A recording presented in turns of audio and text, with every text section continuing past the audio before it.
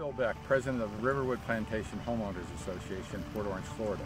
As a homeowners association with 360 owners, we look for legal counsel that could review our governing documents, assist in disputes and litigation, and provide legal opinions as needed.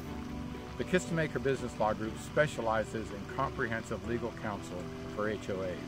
They do so with a high degree of professionalism and enthusiasm, yet explain things to us in layman terms that we can easily understand. I highly recommend the Kistemaker Business Law Group.